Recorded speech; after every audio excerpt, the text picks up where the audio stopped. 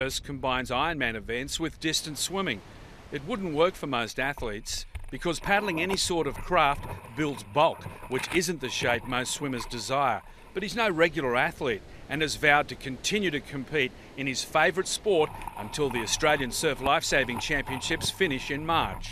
I think it's a good balance for me, you know, leading into the Olympics. It's great mentally, it's good physically. I think cross training is an important element to, you know, swimming. It, it keeps your mind fresh, and uh, I think that's important. He's hoping the cross training will also help prepare for his 10 kilometre open swim in the London Olympics. Basically, I've got just over 20 weeks then to concentrate on what I need to do to make sure that I go to an Olympic Games and, and, and swim and represent Australia and, uh, you know, give it my all.